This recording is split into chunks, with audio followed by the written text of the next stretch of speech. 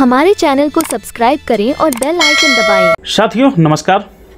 और आज हम बात करेंगे पंचायती राज विभाग में डाटा ऑपरेटर की जो जगह निकली है, उसके बारे में। इसका जो है, विज्ञापन सात जून को आया था, लेकिन फॉर्म भरना आज से शुरू हुए हैं, यानी कि आज पंद्रह तारीख है, पंद्रह जून से।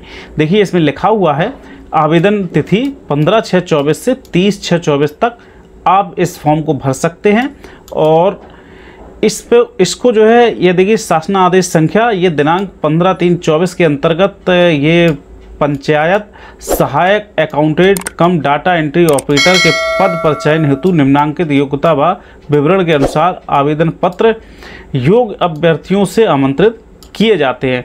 कुल पदों की संख्या 4,831 है लेकिन यह 4,831 जो पद हैं ये पूरे यूपी की सभी जगह है। और अगर आप अपने जगह का देखना चाहते हैं तो उसके लिए मैं अभी आगे बताऊँगा कि आपके ग्राम में यह जगह खाली है या नहीं वो है कैसे देखेंगे। सबसे पहले हम फॉर्म भरना सीख लेते हैं। तो सहायक, पंचायत सहायक accountant cum data entry operator चयन की समय सारणी। तो किस तारीख को आपको फॉर्म जमा करना है? तो ग्राम पंचायत द्वारा पंचायत सहायक, कम एंट्री ऑपरेटर आवेदन पत्र आवेदन करने की सूचना, ग्राम पंचायत के सूचना पट पर या मुनादी कराना, आदि कराया जाना, यह जो चिपका दी जाएगी 12 से 14 जून तक, यानी कि आपके जो, आपका पंचायत ऑफ़िस है, वहाँ पर अभी तक ये चिपका दी गई होगी। इसके बाद जिला पंचायत राज अधिकारी कार्यालय विकासखंड कार्यालय, ग्राम पंचायत कार्यालय में आवेदन पत्र जमा करने की 15 जून से 30 जून तक आप कभी भी पूरा भरा हुआ सभी प्रपत्रों के साथ आपको यह 30 जून से पहले पहले हर हालत में जमा कर देना है। जिला पंचायत राज अधिकारी कार्यालय विकासखंड कार्यालय में प्राप्त पत्रों को संबंधित ग्राम पंचायत को उपलब्ध कराया जाना तो यह आप जैसे अपने गाँव में जमा करेंगे, वह अपने विकास खंड वगैरह में उनसे ऊपर जहाँ जमा करेंगे, वह एक जुलाई से छः जुलाई तक सभी भरे हुए फॉर्मों को वहाँ पहुँचा देंगे। ग्राम पंचायत में प्राप्त आवेदन पत्रों की मेरिट लिस्ट तैयार करना, ग्राम पंचायत की प्रशासनिक समिति के समक्ष विचारात प्रस्तुत कर किया जाना, यानी कि उसकी मीटिंग वीटिंग वगैरह और मेरिट लिस्ट सात जुलाई से चौदह जुलाई के बीच आपकी जो है मेरिट लिस्ट की जो है कॉपी आपके पंचायत ऑफ़िस में चिपका दी जाएगी। और इसके बाद जिला अधिकारी की अध्यक्षता में गठित समिति द्वारा परीक्षण एवं संतुष्टि, यानी कि आपके जो डीएम रहेंगे, उनके समक्ष जो है उस जितने लोग चयन हुए हैं, उनकी एक लिस्ट बनेगी और उनके साइन होंगे, तभी आपको पोस्टिंग के लिए निकाला जाएगा। यानी कि ग्राम पंचायत द्वारा नियुक्ति पद निर्गत किया जाना, जो 22 से 24 जुलाई के बीच में आपको करना है। यानी कि डेटें पूरी फिक्स कर दी गई हैं। आपको किस तारीख में क्या करना है, वह आप इसमें समझ समझिए अब देखते हैं आवेदन की प्रक्रिया। बहुत जल्दी जल्दी देखते हैं। निर्धारित आवेदन पत्र प्रारूप पर समस्त सूचनाएँ अंकित कर व्यक्तिगत रूप से अथवा रजिस्टर डाक से अपनी ग्राम पंचायत विकास खंड कार्यालय अथवा जिला पंचायत राज अधिकारी के कार्यालय में निर्धारित समय अवधि में उपलब्ध कराया जाना। समस्त चयन प्रक्रिया शासनादेश संख्या में दिए गए प्रावधानों के अनुरूप संचालित होगी। तो यह साइन किए गए हैं अटल कुमार राय के। ये आपका फॉर्म है और अब हम जानते हैं इसमें फॉर्म को कैसे भरते हैं। तो ये देखिए आवेदित ग्राम का नाम। आप जिस ग्राम में रहते हैं उसके जिसके लिए आप आवेदन कर रहे हैं, उसका यहाँ पर नाम लिखेंगे। विकास खंड आपका जो लगता है, वह यहाँ पर लिखेंगे और किस जनपद में है। वह आप यहाँ पर लिखेंगे। अपना नाम लिखना है, जो आवेदन कर रहा है, अपने पिताजी का नाम लिखना है, अपनी माताजी का नाम लिखना है, जन्म तिथि लिखना है, आपकी जो जन्म तिथि हाई स्कूल के अंक पत्र में दिखाई गई है, वह यहाँ पे लिखेंगे। अब आपको अपनी आयु जो है लिखना है, जो कि एक जुलाई 2023 को कितने वर्ष, कितने महीने और टोटल कितने दिन हो चुके हैं। यदि आप महिला हैं तो महिला लिखेंगे, पुरुष हैं तो पुरुष लिखेंगे। और आप किस श्रेणी से बिलोंग करते हैं? अनुसूचित जनजाति से, अनुसूचित जाति से, पिछड़ा पक्ष से सामान से? वह यहाँ पर लिखेंगे और यहाँ पर टिक करेंगे, जिसमें भी आप आते हैं उसमें। इसके बाद आप अपना स्थायी पता लिखेंगे। आप जहाँ पर परमानेंट रह रहे हैं मतलब स्थायी पता, और इसके बाद यदि आप, आपका स्थायी पता और पत्र व्यवहार का पता अलग अलग है तो आप अलग अलग लिखेंगे। अगर एक सा है तो एक सा, दो बार लिखेंगे।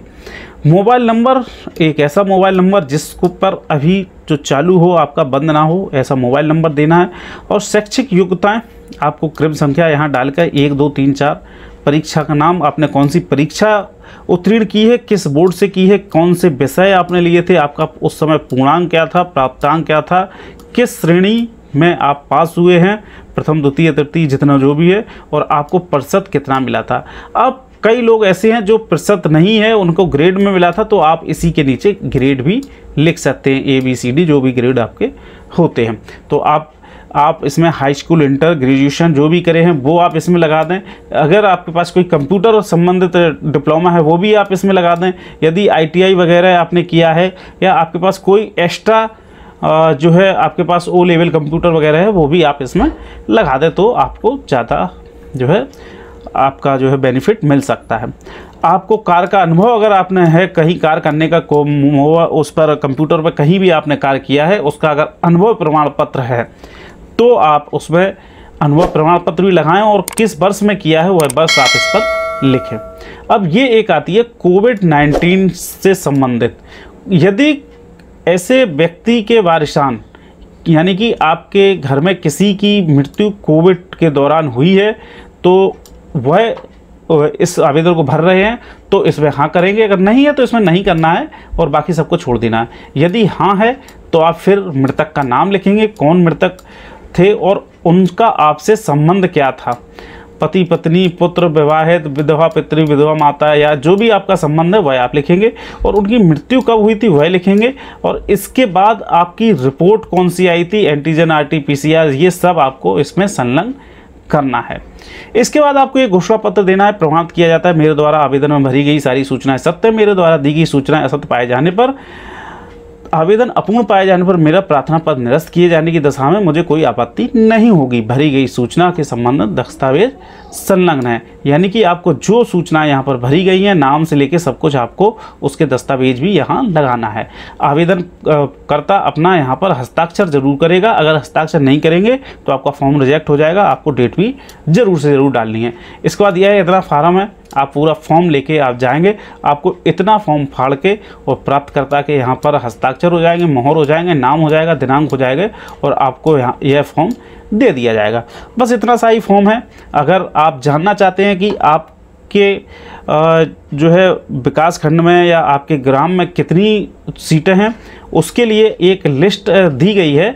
आप इस इस वेबसाइट पर जाएँगे। ये जो वेबसाइट लिखी है, इस पर इस पर यह पूरी लिस्ट दी गई है। अगर आप लोग कहेंगे तो मैं इस लिस्ट को आ, इस लिस्ट का लिंक मैं अपने डिस्क्रिप्शन में डाल दूँगा। तो आप वहाँ से भी इसको डाउनलोड कर सकते हैं। 92 पेज की लिस्ट है। पूरी आपकी जो है कहाँ कहाँ पर वैकेंसी निकली है हर गाँव में एक एक डाटा एंट्री ऑपरेटर होता है आपको मालूम है। तो ये बहुत बड़ी लिस्ट है। अगर आप लोग कहेंगे तो मैं इसका जो है लिंक जो है उसमें डाल दूँगा।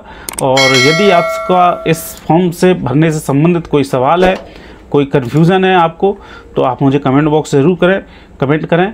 मैं आपके सवाल का जवाब देने की पूरी कोशिश करूँगा। गलत फॉर्म ना भरें। उससे पहले आप एक बार वीडियो पूरा देखने के बाद ही आप फॉर्म भरें। मिलते हैं ऐसी किसी वीडियो में। जब तक के लिए जय हिंद, वंदे मातरम।